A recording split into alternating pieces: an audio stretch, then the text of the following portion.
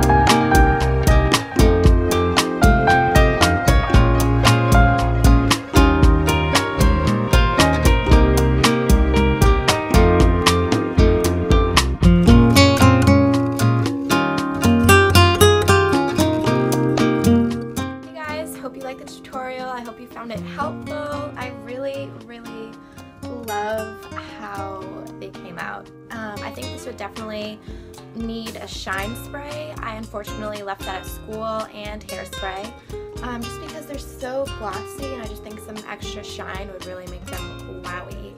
And obviously um, pinning it back is totally optional. I just think it looks really nice and adds to the glamour, kind of like old Hollywood vibe.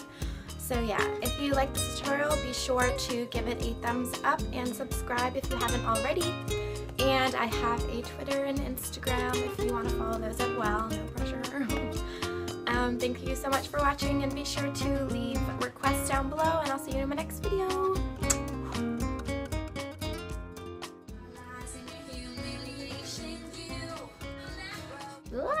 but